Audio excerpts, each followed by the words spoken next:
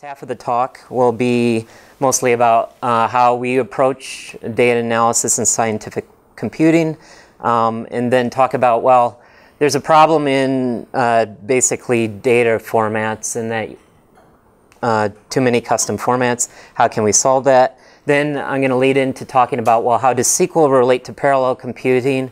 And then um, why do we just stop at using SQL for analysis? That's a little bit of a lie, but I'll get into parallel computing, functional computing, and where to go from here. Um, so uh, this is what I'm interested in is basically a trifecta of I see a relationship between the relational data model, the functional, and the parallel um, because of what we do at and DOE and supercomputing. Um, and to ruin the punchline, it's not Spark. Whatever it is doesn't exist yet but there are pieces in Spark and, and exist here and there. Oh, by the way, um, just for people that didn't notice, I do have the GitHub with the slides and all my content and code that you can uh, download and get, and there's a virtual machine that you can get too. So let's get going. So just a little bit of background, what where I come from, the things that I do. So I work with a lot of computational scientists. They're doing numerical models and computer simulations and processing real, uh, real world data um, from uh, instruments like telescopes and particle physics. Um, these two pictures are actually codes that I've worked on, where I don't write simulations, but I help scientists analyze them. This is MPAS Ocean. It's an ocean climate model. And the other one is um, dark matter cosmology. It's called HACC, uh, H-A-C-C. Um, but I work with a lot of uh, scientists and they're running really big simulations. So we have supercomputers in the Department of Energy. I'm just just give a list of different ones that we uh, their existence. We call these sort of like the leadership class uh, uh, computers, sort of like um, I don't know bragging rights uh, are big computers. And so large scale simulations mean large scale data. So like with MPAS Ocean, um, can generate terabytes for one, say, climatology run. With HACC, same way, you can get up to petabytes when they're doing, trying to do a simulated universe. And then when we're, talking about parameter sweeps, like running these simulations multiple times with multiple input configurations, we'll multiply all these numbers by x. Um, so, and what this leads to is just custom data formats. And it's really annoying because uh, there's various reasons why this happens, like uh, they wrote the code before HDF5 or NetCDF. They're small teams. They have don't have expertise in I/O. And the other thing is like they actually spend time writing their own custom I/O because speed is the slowest thing in um, or I/O is the slowest thing in supercomputing. So it makes a pain to do any sort of analysis because of having no common format. So in, in, the DOE, the Department of Energy, we have two open source scientific visualization tools. You probably have never heard of them. They may be interesting to you, but you can download them here. The links are in the slides, ParaView and Visit. Um, and just in ParaView alone, I counted 150 readers. So I, I opened up the, the open file dialog and scrolled through there, and there's 150 of them. That's just crazy. And that's not counting like VTK, it's got like 250 by reducing the adapters to a particular format? it's basically, yes, adapter to a particular format to read the data into the VTK memory model because VTK has its own memory model. Um, I won't go into it, but but it has its own memory model. But it's basically how do you deserialize all of this data from disk and get it into the format that ParaView or Visit or VTK wants to process it. So just a typical analysis workflow goes something like this. I encounter a new scientific team. I get some data from them, and either I got to create a new reader for their data or um, translate their data into a common format. Or I get lucky and they actually have one that ParaView supports, but that's usually unlikely. Um, and then get to the task of visualizing and analyzing their data. And, and these two points, this either thing, this is what I'm going to try and teach you is like write your own reader um, reader um, that's portable in lots of different tools so I don't have to do it for you. And then you can kind of analyze and visualize your data on your own without having to come say to me. So in the following, we're going to analyze a simple heat transfer simulation that I've written um, and sh just shows some analysis workflow. So um, th these, when I say to follow along, I'm not actually expecting you to follow along. This is for later when you have the, the content and want to look at it. But I'm just going to open up my version of it here. And so I have this data from this for Fortran heat simulation. It's a simple tab separated values format. It's separated into files, one per time, one per processor. Actually, this is a, a multiprocessor simulation, so I ran it with four cores. And um, this is pretty common, right? Is like end up writing just whatever, whatever the scientists decided was good at the time.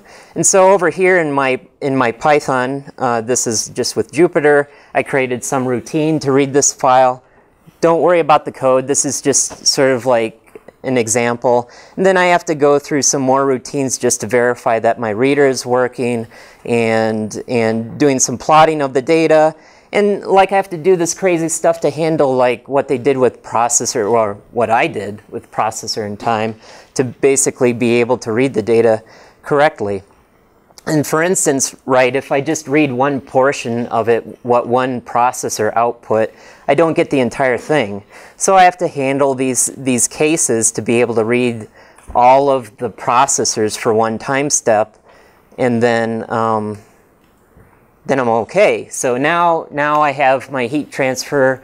I can read it in. I can start processing it. Just to give you a little bit of idea, what's going on here is like we've got like a little 2D plate and I initialized it with some hot points and it dissipates over time.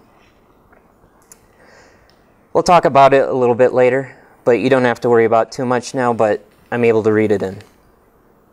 So, but that was simple relatively simple. What if I want to do a query on the data? In particular, do a plot of maximum temperature over time. So now I got to read every single time step, write some code for that, collect the maximum, sort the data by time, and then plot. That may not seem, seem hard, but that it gets really tedious when you're writing all of this stuff all the time. So um, this is potentially a lot of custom Python code for one tool for, for for one uh, code. So how can we get around this? So you may be immediately saying, well, why don't you use data frames? Why, why don't you use pandas? Or why don't you use R? Um, why don't you load it in a Spark? We'll talk about Spark later, but for now, let's skip that. Um, but we are going to do, oh, did you? Okay, sorry. Well, well, that, that's actually the end of my talk is that I'll already ruin it for you is that supercomputers don't run Java in the cloud stack. Mm-hmm. We're very customized. So, but. But like, do you get data in different databases, like NoSQL databases? Nope.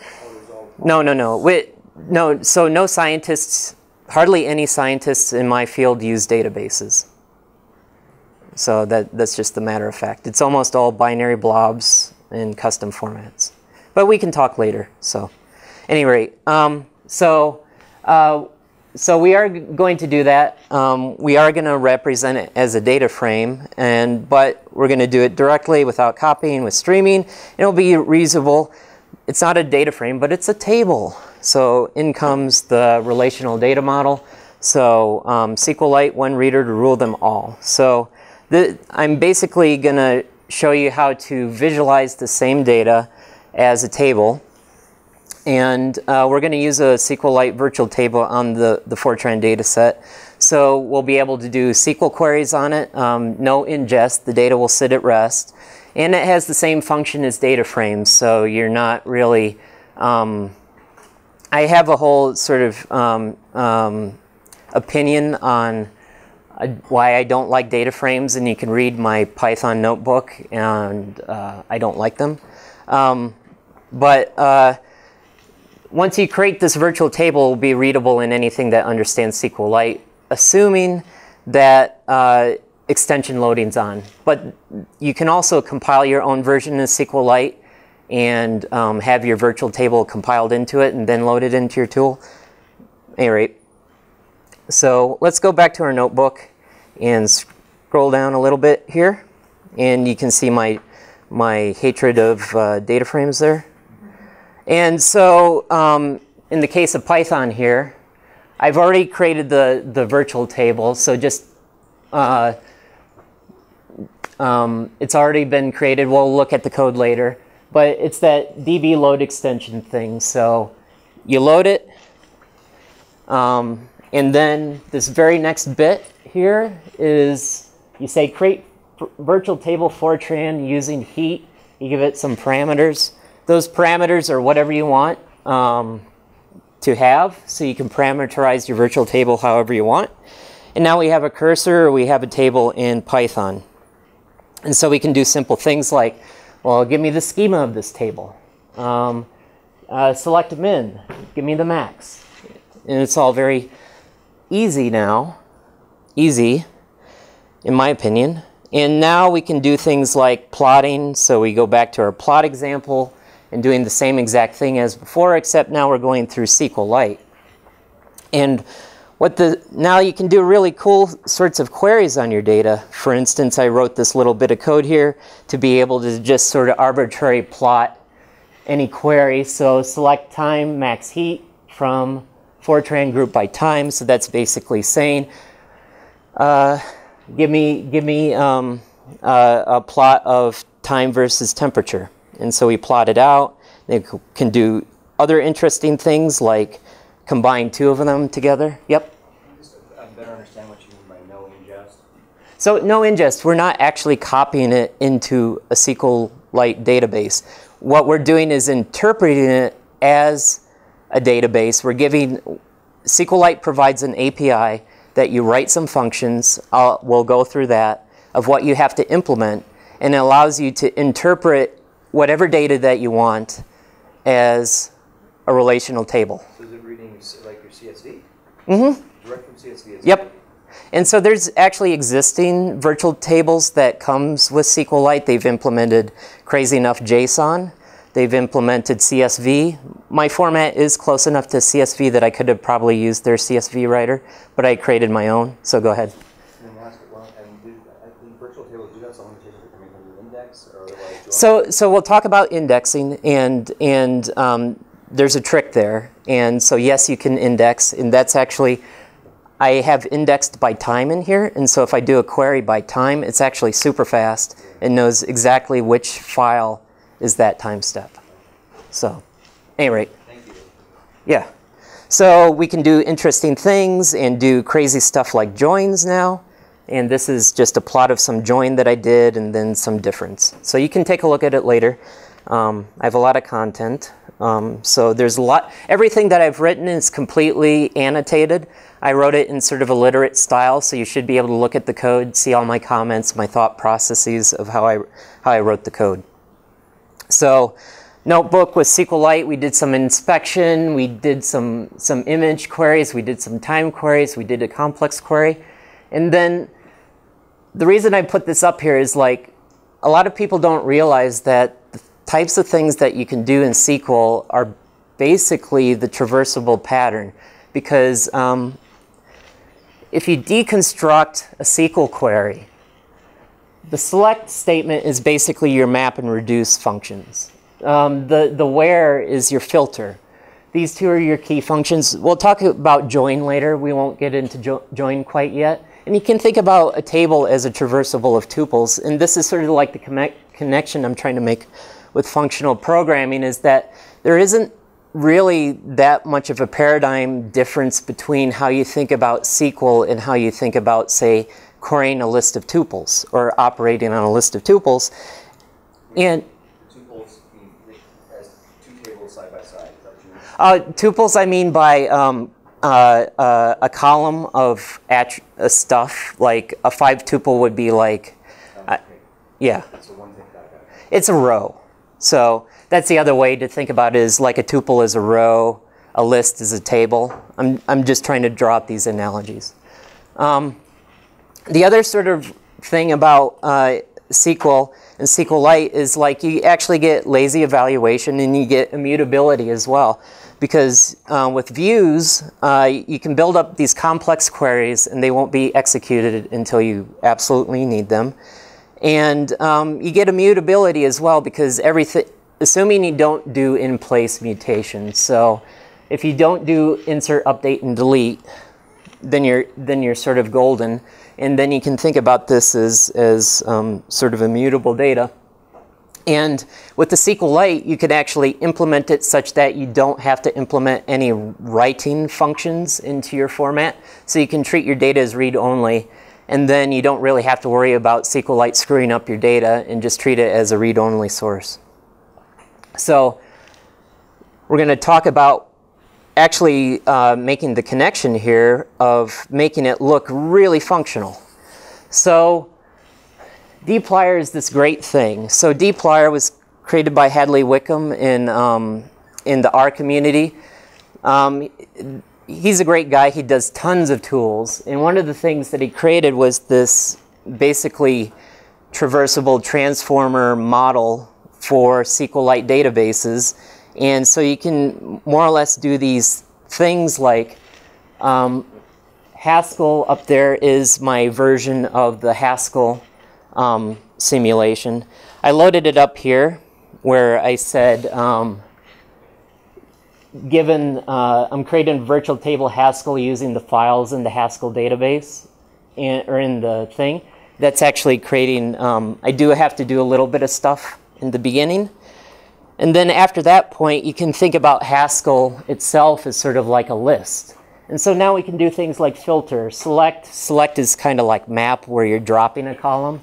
Mutate is, um, is basically map but adding in a column. And you can actually see what this code gets transformed into into the SQLite code. But it gives you a really convenient way to now program in SQL without having to learn SQL. This is just more code to show you what SQLite's doing. And so we can do interesting things like repeat the same plot that I did before. Let me just show you the um, a little bit of code. It might be a bit too much. Let me find a good complex, well, we'll talk about the histogram one here. So the histogram one here is like I'm going to create a manual histogram. I have the simulation and thrust. I want to find where all the heat values are greater than zero, and then I'm going to summarize them um, by basically scaling them by log 10, doing some other normalization of the data, and then we compute it. Same way, uh, just some more uh, mutation or transformation of our data. And then we chain it all together into these big sort of tra data transformers. And the really cool thing about this is like um, dplyr just automatically integrates with ggplot, which is called the grammar of graphics. So this funny little widget thing, the thing that looks like um, the percent uh, greater than percent, that's the pipe operator in, in R. And so it's piping all this stuff through. And then it just automatically pipes into ggplot. So it's basically, you think about this huge chain of transformers now. And it makes really cool programs because now, now you're, um, instead of instead of sort of like all this trouble of loading in my data and then having to do all this imperative code to select everything and stuff like that, you can build up these queries just by using transformers. It's like, oh, I didn't quite get what I wanted. Let me filter out that data. Or, oh, that's interesting. Let me map it and transform it somehow. And so now you can think about doing all of these transformations on your data through SQLite and it just automatically pipes directly into ggplot and it looks like read in data, transform, transform, transform, graphics transform, plot. And it's, it's super cool. And the other nice thing about this is with um, dplyr, it's seamlessly integrated with sparklyr. And so you can actually do the same code that you write in, on your SQL that works with Spark as well. So I'm going to show how we go about creating a SQLite virtual table. Um, so the example code that I have is in C using the native API, but the API is well defined, so if you're not comfortable with C, you should be able to implement it in some other language that has foreign function interfaces. For example, you can write virtual tables with this APSW, um, so you can implement everything in Python if you wish. Um, and so the API. Uh, the API is like you have to implement opening and closing a table, creating and closing a cursor, indices, query, blah, blah, blah. I'm not going to go through this because I'm going to draw an analogy is that what we're really creating is an iterator over a list of tuples. So the things that we have to do to basically tell SQLite about how to interpret our data as a table is we have to define what the table is, give it a schema. So we have to say it's, it's uh, these, these columns. Then we also have to do things like creating the cursor, which is the iterator state. Um, like what is the current position that SQLite is in its query over your data. So you have a couple of stateful things that you have to keep track of. Um, we'll talk a little bit later about indices, but you can think about indices as basically a way of mapping values to row positions in that SQLite will want to do something like hey, do you have an index on your time column? And if so, can I use it? Um, then basically doing a query is like um, giving the arguments to a filter function. So you're basically um, ingesting what the, the, the constraints are that you want to iterate over and storing those. Then next, this is the iterator um, portion. This is probably the most important thing that you have to implement for correctness extracting values from the tuple, that's where you're returning the values at a particular row, and just then telling a SQLite that it's at the end of its query. So this is the structure of our data. It was some files that looked like sort of tab separated values. And there's actually some metadata in the file name such that we, we actually care about this zero, this was our processor, and this was our time ID. And we, what we're doing is basically creating an API such that when SQLite calls our data, it can appear to be a table and allow it to start a query on your table, iterate over it, and all you're doing is returning the values at a particular row in your position in your table and you're filling out the functions to service these requests. So let me bring up the, the C SQLite code just real quick here, just to show you the things that you do have to implement. So what you have to implement is connect and disconnect. That's where you're basically telling SQLite about the schema of your data set. Open and close, that's the creation of a cursor. Best index and filter, this is a protocol that SQLite goes through when it wants to start a query on your data set because what it will ha happen is it will call best index several times when it wants to start iterating over your data and ask you do you have a do you have an index on this column do you have an index on that column and it's trying to optimize how to iterate over your data and then after it figures out what's the best plan for your particular data set, then it will call filter, which gives your data the constraints. And then it will repeatedly call next until it reaches the end of your data set. And it will periodically call column and EOF, where EOF is the end of the query. So you're implementing an iterator over your data set. Um,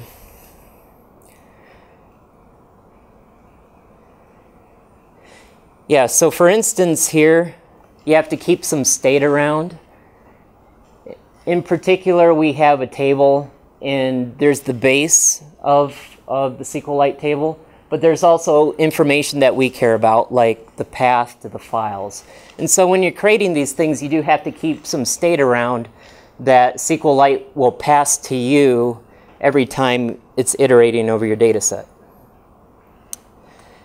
And getting to XNext, this is the most important thing that you're implementing over your data set is how to iterate over it. You can kind of think about it as implementing the recursion step of implementing map, where you think about you've got a list of stuff, you're at a current position in the list, what is it that you need to return to somebody that is iterating over your data set? So there's some state that's passed in, that's your cursor. Um, you're keeping track of where you are currently in your file. And in the case of what I implemented, I implemented parsing the file name because there was two bits of information that were returning back to um, the SQLite. We actually parsed the processor and the time step, and that's presented as column data um, to SQLite. And then every time we get to a new file, we open that file, and then we start iterating through that file too. And then we read a line from the file, parse it, and then every time SQLite says column, say processor, we return the processor value or column heat, we return it the, the processor heat. So what you can think about what's really happening is SQLite is taking your SQL statement and transforming that into this iterative program that is traversing your data set. And it's treating your data as this iterator model where it's just calling next, next, next, next, and you're just servicing the requests to it of like, you're at, currently at this row, I'm going to give you back the values at this particular row. Do you have difficulty when you have pathologically bad JSON with arbitrary levels of nesting and trying to flatten it into like a tuple? Um, I haven't done this with JSON, and I know there's an existing SQLite JSON reader, but I haven't looked into it because obviously there JSON is unstructured, and so there could be whole tons of stuff that is basically null data, and so then you're filling out this huge sort of wide schema that has a whole bunch of nulls in it, and so there is that sort of pathological problem of like certain unstructured data sets don't really fit within the structured data model. But in our case, in my scientific computing world, nearly all of our data is structured. Um, so there's that. But I, I, do understand the problem of if you have pathologically unstructured data, it's probably not going to fit well. You probably just want to use a JSON reader anyways. So, any rate. Um, so is this it? Uh, so you can see my code for the complete Im uh, annotated implementation all, all this code's here, it's all, it's all annotated for you so you can learn. Um, like I said before, the iteration logic primary relies on XNext, yada, yada, yada. And to get to your question of um, indexing, this could be the second most important thing that you implement. And it really depends on how complex you want to make it. Because what it is, is that um, it's this protocol process between SQLite and your implementation, where as I said before, it will ask you, hey, do you have an index on time? I'm looking to do equality on time. And you're more or less just responding in this protocol to say yes or no, and what's the what's the estimated cost of using your index, and it uses that to optimize its queries over your data set. So you do not have to implement any indices at all. Um, yeah, so if you don't implement any indices, by default, what SQLite will always do is just traverse your entire data set to service any query. But the more indices that you add, the faster that SQLite will always perform. And in our case, I did implement a time index. And the way that I did that, which is on the next slide, is that so it goes through this protocol and say we, are doing this, this uh, selection up here where select star means select all the columns out of a data set from our table where time step equals 1700. So what will happen is SQLite will call your implementation of best index and say, hey, do you have an index on time? And I want to do equality. I want to do equality on, on this, this column then you'll respond, yes, I have an index. In our case, we do. And then after it figures out the optimal plan, then it will then call filter, which is actually the start of the iteration over your data set. That's when you're actually setting up the state of your cursor. And then it will pass in 1700 at that point. And that's the point where you store that information that SQLite is interested in filtering on time step 1700. Then in your XNext implementation, that's when you're actually doing the filtering. You are excluding all files that don't have 1700 in it. But the thing is, is how, how you want to implement that can be totally up to you. It doesn't have to be implemented any particular way. You could use hash maps, you could use some sort of trees. You, in, in my case, all I did was um, I recorded what operator SQLite wanted to do. Say it's less than, greater than, equality. I recorded the number, the, the range that I was interested in, say 1700. I stored that in the cursor, and then every time I got to a new file, and I parsed the file name, I, I just checked to see whether or not the SQLite constraint met the file name constraint where we've got that data in the file name header. And I just skip over it and skip to the next, next file. And it actually makes it super fast um, because now you've implemented this, this index on your data set. So maybe one of the questions you might have is like, uh, can I use SQLite's indexing um, for that it uses on its own file format. No, you can't. So if you want to use have indexing on your data, you do have to implement it yourself. There's that. Um, so virtual tables, portable readers, um, streaming, no ingest, no copying, uh, not tied to a particular tool. I showed you reading it in uh, Python, reading it in R. I need to fix ParaView such that it can use SQLite virtual tables as well. But the cool thing about this now is like now you have this implementation that's usable across many different analysis tools. Um, I haven't checked, say, if MATLAB supports it. I assume it has a SQLite reader. Um, so there are some drawbacks to this. So there's a magic, magic compiler that's the query optimizer. And it doesn't always do the best, but I have a link to sort of how you um, give it hints on how to optimize queries. The other thing is, is SQL and SQLite is an interpreter. SQLite is running an interpreter over your data. So there's that. And if you get into really big data, say the data that I'm working with, you maybe you're just hosed. But um, the more indices that you add, the better you are. So I actually have implemented this on the dark matter cosmology data, and that's like hundreds of gigabytes. And we have indices for spatial indexing, and we have indices for time, and that still allows us to do really fast queries that the scientists are interested in.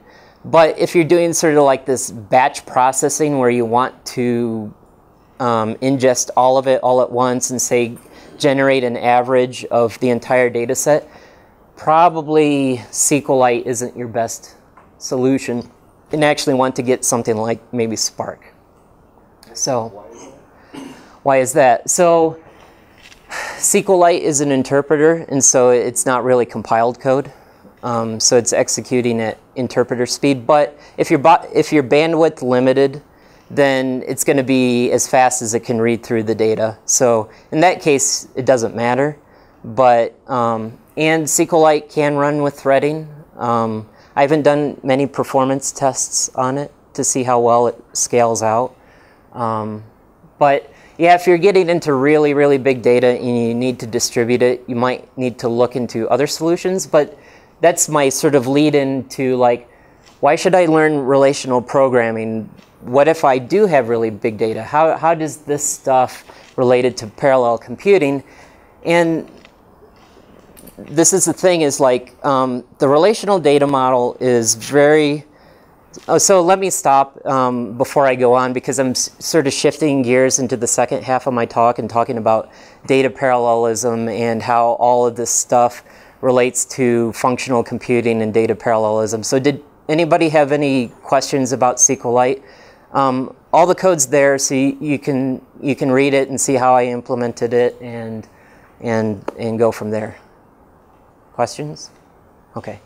The only thing I'll say about SQLite, and like, like you said for for um, data processing, if you're not doing, as you said, updates and deletes and the rest, it's rocket fast. Yeah. And, and I was using MS SQL, and you don't, you don't, you don't need all that stuff. And Right. I'm blown away at the speed. Yeah. Yeah, I mean, I'm I'm usually pleasantly surprised by its speed. I mean, the the reason that I'm telling extolling the virtues of SQLite to you guys is like I think it was five years ago. It changed my workflow. It, it was it was sort of like an epiphany to me. It's like, oh my God, things are so much easier now.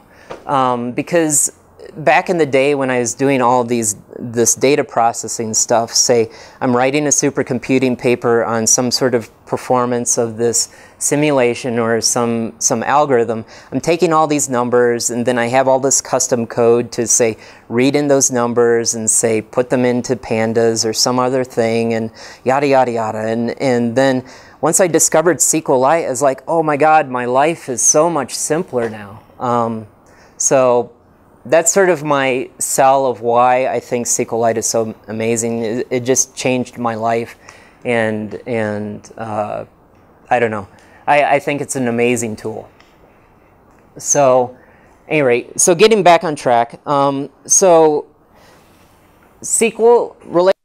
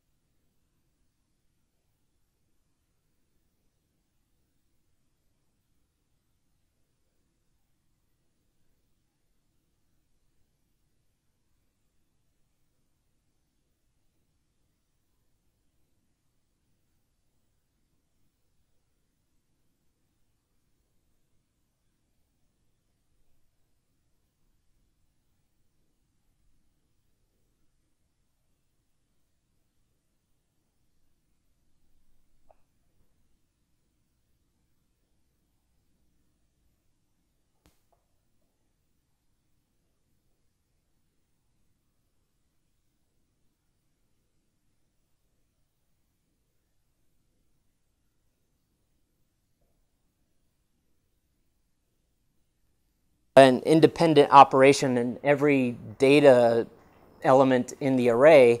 And so we don't have to worry about any sort of these fan in problems because we're always taking the last time step and writing to a new time step.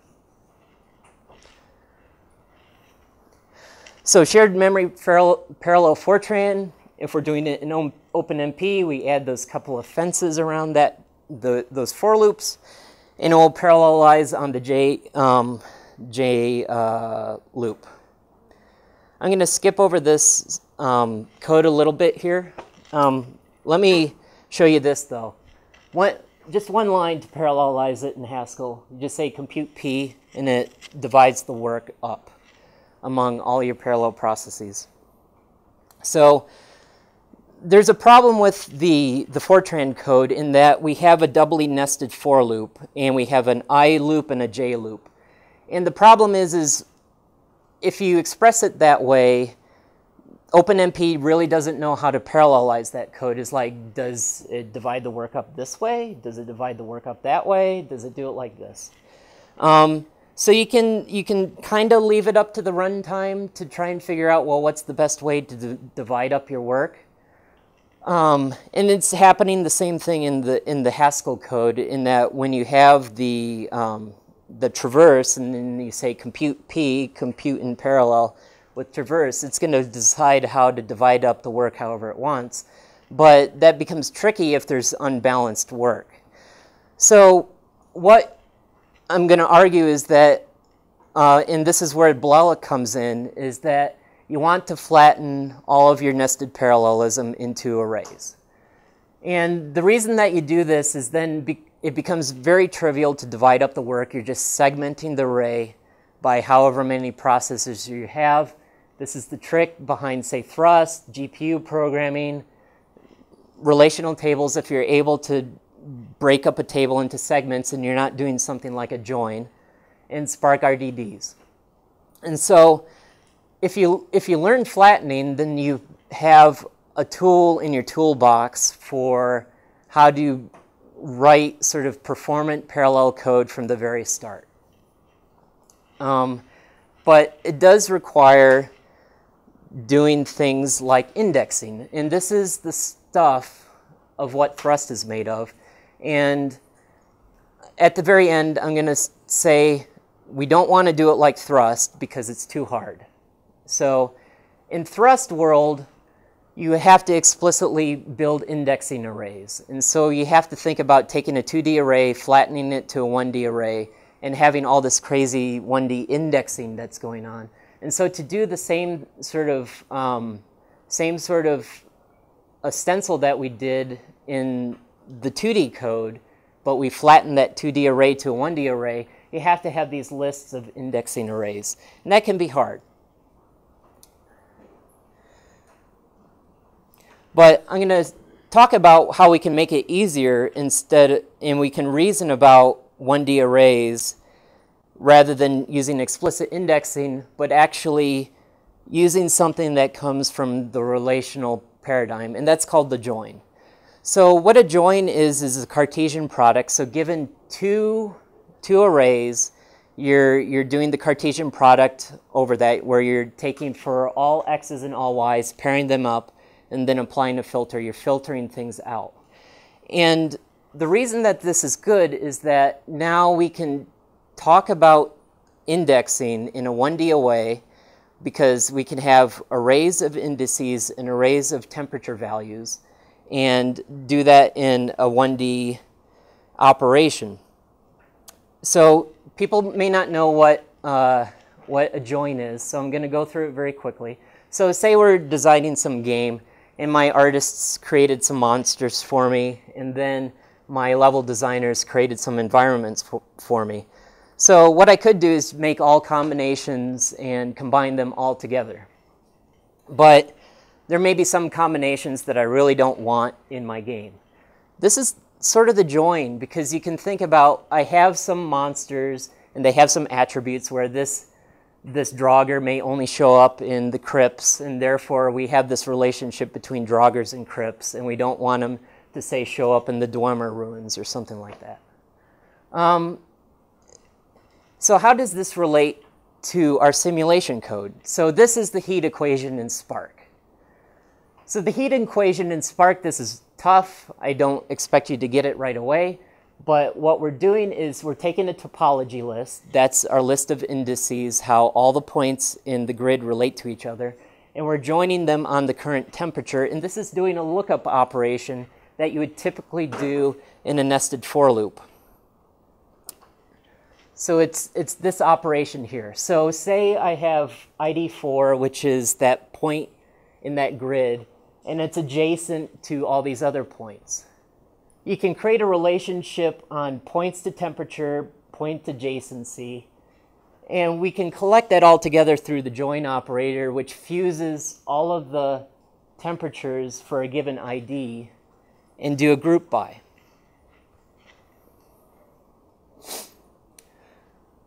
So what's going on here? So array indexing is fundamentally a join, except you have some knowledge about the distribution of your keys, which are your indices and the values that you're looking up on. So given some, say, indices that I care about and some values, a for loop is a join in that you have a list of indices, you're iterating over them, and you're using those to look those thing, some other data up. And that's exactly what we're doing back in these examples back here, where I now lost my part spot. So that, that's this part here is like we have these indexing things going on where I and J are some indices that we care about. And we're trying to look up the temperature in some other array. And all I'm doing is trying to explicitly expose what we're doing in sort of array data lookup is that you're, you're doing a join fundamentally in that you have some data, you're doing some lookup, and you're fusing that data together into the same list. So the bonus round here is what's the really crazy one? So I implemented the heat equation in R using dplyr. And here's the funny part is like, here's the SQL code. So I have done this on my own separately. I don't have any example of this. But this is to try and close the loop on this entire thing is that it is possible to write a heat equation in native SQL. I've done it once before. And to try and convince you that there's a relationship between SQL, data parallelism, and, and the functional model. So to wrap up here, so concluding thoughts of why should I learn this stuff? Um, a lot of you probably aren't scientists, but just to give you a background, the typical way to do um, data programming in scientific computing is with MPI. It's called Message Passing Interface in OpenMP. Why should I learn, say, this stuff instead of that? Well, data parallelism is key to programming GPUs and multi-core processors, you, this is a skill set that you ought to have if you want to program those things because that's the way that they're best suited to computing. It gives you uh, portable parallelism. Once you have this tool in your, in, in your tool belt, it gives you lots of ways to think about how do you program in parallel. And data analysis in SQLite in that you're using the same sort of skills that you've learned in all across these things. Um, but MPI is messy. It requires a lot of bookkeeping.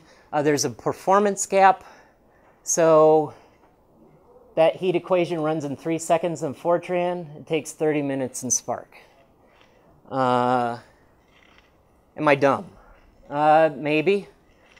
Um, so I'm sure somebody will look at my Spark code and say, well, you shouldn't have implemented it that way or this and that. I don't disagree, but frankly, it's numbers like these why Spark, say, doesn't get used in our world. Uh, we use something completely different, and the numbers are one of the reasons.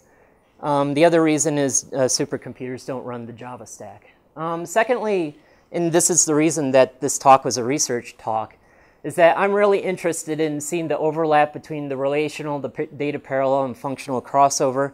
My, my ideas aren't 100% baked, which is why I gave this talk in this venue, but I hope you can walk away from this and I've given you at least a tool to say, um, uh, expose your data in SQLite.